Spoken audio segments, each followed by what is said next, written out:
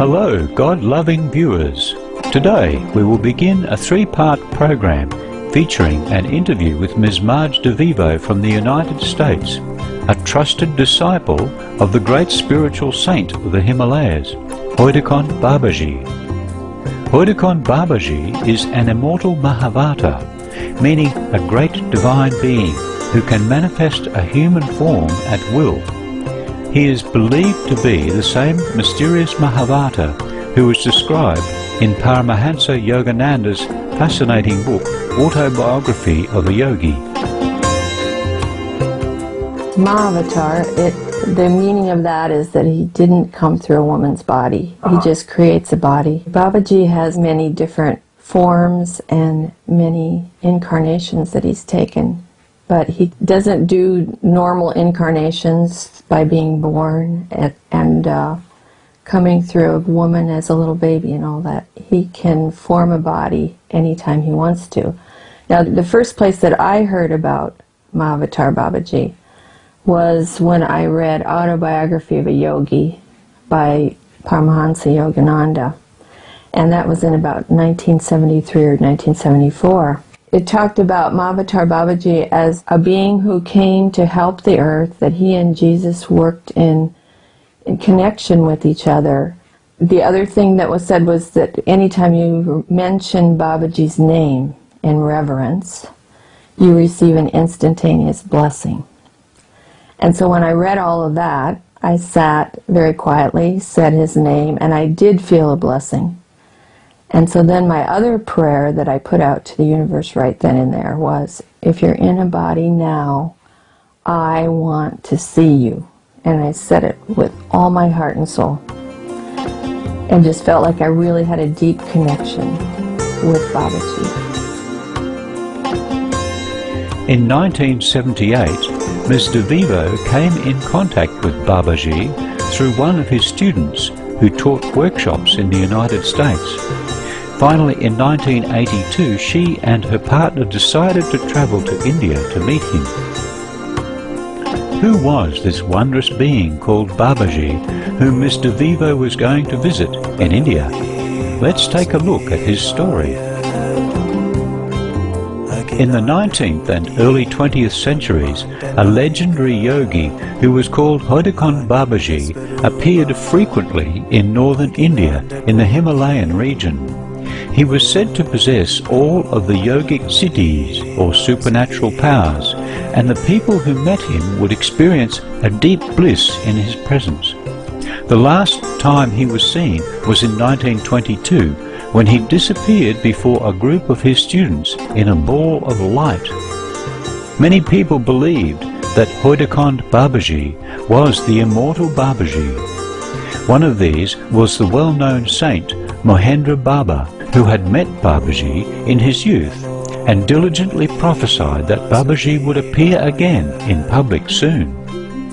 In 1970, a man from Haidakhan by the name of Chandramani had a, dream in which his long-deceased father, who had been a devotee of Haidakhan Baba, appeared to him and told him that Babaji had reappeared and that he should go and look for him in a certain cave. Chandramani went to the cave and found a venerable old man with a long white beard sitting there. The old man told him to go back home and come back in three days. Chandramani went home but returned immediately. When he came back, to his amazement, instead of the old man, he found a young yogi of angelic beauty who seemed to be only 20 to 22 years old. The young saint acknowledged that he was Haidakhan Baba. This new Babaji, who seemed to be 20 to 22 years old, later stated in the local court that his age was 130 years. The court acknowledged that he was the same Haidakhan Babaji who had appeared half a century earlier in the same region. Ms. Marge DeVivo kindly shared about her first meeting with Babaji at his Haidakhan ashram in the Himalayas. When we got up there, Babaji was down in the water in the riverbed taking his bath. He'd go down and they'd pour buckets of water over him, and whoever was asked to come for the bath was kind of a privilege. And he watched us. This took like 15 minutes to walk from where we were over to where he was. We're walking across the riverbed, trying to just stay calm as everything started to tremble as I got closer to him. And so I finally got over to him, and and the procedure is always that you touch his feet, the tradition in India. So bent down to touch his feet, and then stood up, and he's standing this close. And he said, "What your names?" And I I couldn't. I opened my mouth and I knew what my name was, but I couldn't say anything. Nothing would come out. My partner says, Oh, our names, what are our names? I don't remember what our names are. so finally, he says, We're Jim and Marge. And then I could open my mouth and I said, And we came from our teacher, Imam. Imam was the one who taught us for that whole year. And I knew that he was very close to Imam. And Babaji just turned and he looked down the riverbed and he screamed, Imam! Imam! with all his force. And then when he turned back to us, there was none of that. He just looked at us and he told us to go sit under a tree where it was shady because it was very hot. So we finally sat in the shade and he came up to talk to us. We were sitting there and kind of trembling in awe and unable to really function at all. He walked in front of us. He just kept pacing back and forth, back and forth. He was building up this energy back and forth. And then he grabbed a chapati because it was lunchtime and there was a plate of chapati there. He took a bite out of it and then he breathed on the rest of it. And he went over to Jim and he said, open. And he shoved the chapati in Jim's mouth. And Jim ate it. And then he did the same thing with me, with a smaller one. And the minute that food got into our mouth, with his energy on it, everything calmed down. It was just total peace, harmony. Here we are in India. Isn't this great? Here's Babaji. And it felt like that was all there was, and that all there had ever been was Babaji and that this was normal life. The only thing about that was that as we went on with our day, we realized we couldn't even remember anything from our other life. And we knew that I had three sisters, Jim had five sisters, and neither of us could remember even one sister's name. It was like this was the only life. It wore off by the time we were coming back, but it stayed this way the whole time we were there, really. So I, that was a blessing because we could go on with daily life there as if this is normal and this is fine because it was such a complete different lifestyle. And if we had stayed in that state of awe that we started out in, I don't think we could have stayed there at all. It was just too intense. His eyes are dark and sparkling, laughing, full of bliss, endless in their depth, seeming to contain or reflect the cosmos. His face is full like the sun. His beauty is beyond this world. His body is broad, sometimes quite large in stature. At times, he seems to carry the earth in his belly. One devotee had an experience of entering Babaji's body and in fact viewing seemingly the whole universe contained therein. Despite this load, grace characterizes all of his movements. He walks, sometimes carrying a staff, and his feet, like the lotus flower, do not seem to rest on the ground. At times, he leaves no footprints. Some people who have carried him report that he seems to weigh almost nothing. What one observes in Babaji's physical appearance depends upon what Babaji chooses to disclose. Sheila, an Indian devotee, first met Babaji in 1972. When she first saw Babaji, she spoke to him internally. She asked that if he were what he was reported as being, he should disclose himself to her. For the next half hour, as she continually pinched herself to make sure she wasn't dreaming, she stared at his face, which changed like a kaleidoscope from one form of God to another, running the gamut of Hindu and other deities.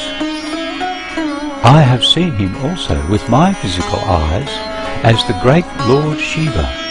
One time I even saw his face as Hanuman, the beloved monkey-faced god, who is said to be a Shiva manifestation. This fairest flower of creation, ocean of mercy without any motive, why has he come to the world? To the worldly minded it is impossible to perceive Babaji's nature, but God has few to whom he whispers in the ear. It is for these that he has come into the world. This is what he said, I am everywhere, in your every breath. I am come to help you realize unity beyond division. I will show you a freedom you have not imagined. You must seek that unity where there is an awareness that we are all one and the same. You should seek harmony in all that you do. I am harmony.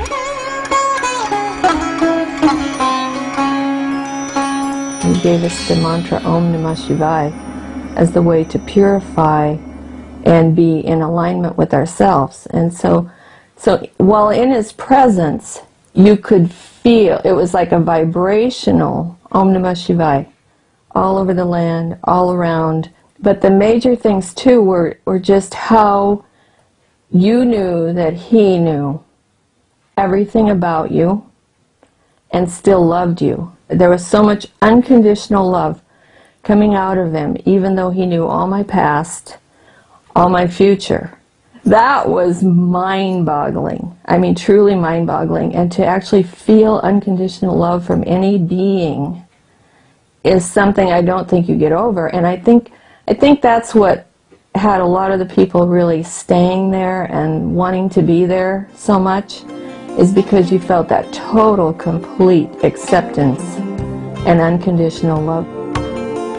Today, many years after Mr. Vivo studied with Babaji in India, and long since he had left that form, she is still communicating and working with her beloved teacher.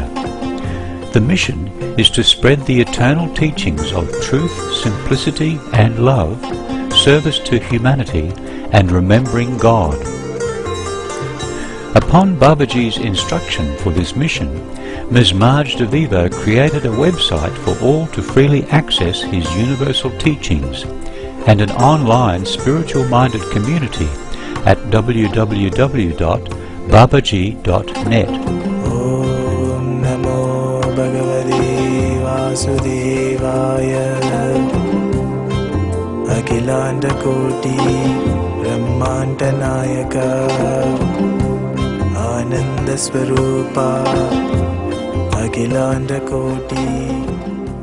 Thank you for your kind company today.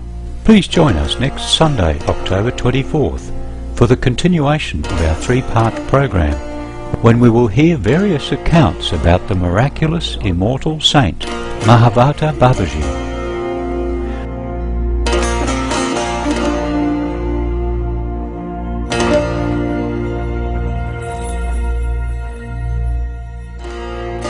Now please stay tuned to Supreme Master Television for Our Noble Lineage, right after noteworthy news.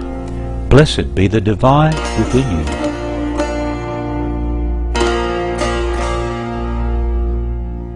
For more details, please visit www.suprememastertv.com forward slash AJAR